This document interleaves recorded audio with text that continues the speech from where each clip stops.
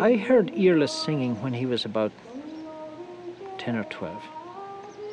And to my father, who was not an Irish speaker, and to me, who was not an Irish speaker, when we heard Iarla, we heard something magical, straight off. It had nothing to do with the lyrics of what he was singing.